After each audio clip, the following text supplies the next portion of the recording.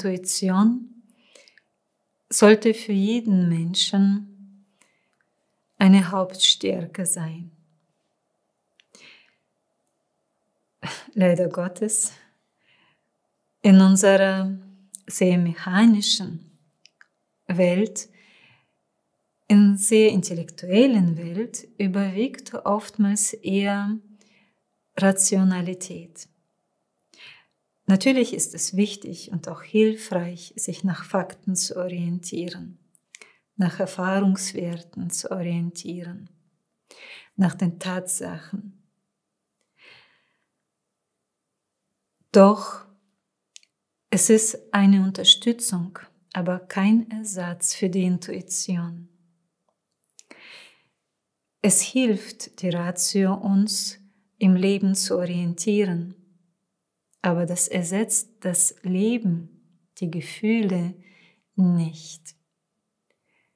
Gleichzeitig gehen sehr, sehr viele sensible Menschen, die in der rationalen Welt sich verloren fühlen, in die Spiritualität, verlieren sich aber auch genauso schnell in der Welt, auch mit ihrer Spiritualität, wenn sie wiederum Ratio vernachlässigen und meinen, alles fühlen zu müssen.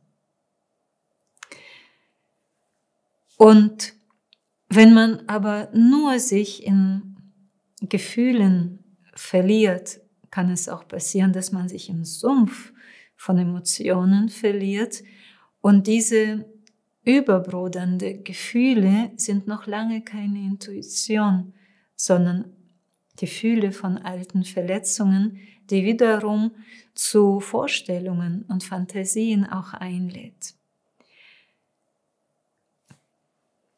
Es ist so wichtig, und das sollte die Stärke eines Kosmogetikers sein, Herz und Verstand zu verbinden. Dann kann uns die Intuition, ein liebevolles Gefühl, den Weg weisen die Inspiration geben und wir aber auch die Ratio haben, das Verständnis, dies auch konsequent umsetzen zu können und auch konsequente, erfolgreiche Entscheidungen zu treffen. Und damit ist es so wichtig, beides, Emotio wie auch Ratio, gleichwertig zu schätzen. Niemals einseitig zu ticken. Und Emotio und Ratio, diesen weiblichen und männlichen Aspekt in unserer Persönlichkeit, verbinden wir durch achtsame Atemübungen.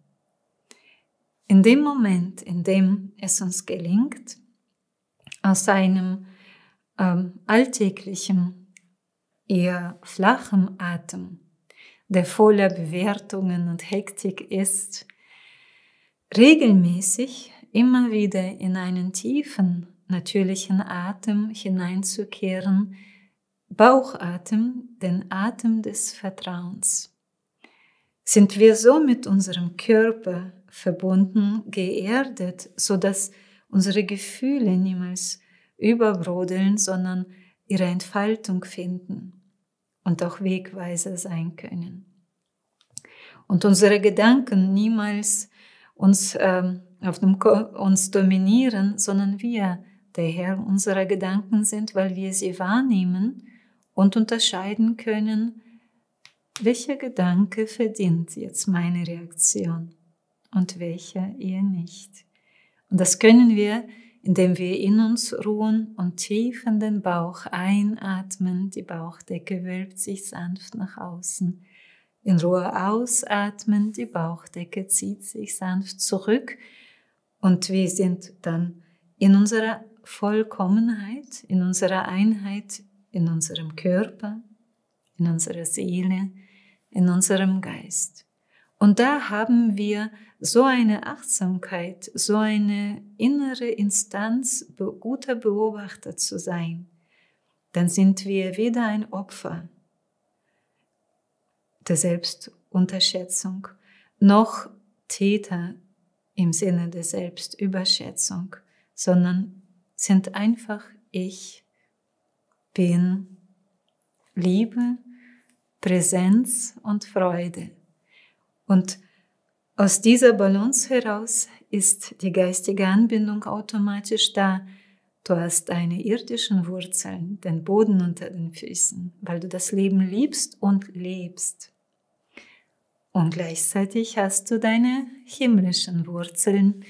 Du bist präsent, ausgeglichen, aufgerichtet und deine Intuition leitet dich. Dieses Gefühl, das ist jetzt stimmig, das ist jetzt faszinierend, das ruft mich und das verdient diese Idee meine Reaktion, denn wenn ich mich dieser Idee stelle und in diesem Urvertrauen mir zutraue, meine Komfortzone zu verlassen, neue Erfahrung zu erleben, entfalte ich dann auch mein unermessliches Potenzial und letztendlich lebe intuitiv, voller Wohlbefinden meinen vorgenommenen Seelenplan. Bin ein erfüllter, gütiger Mensch.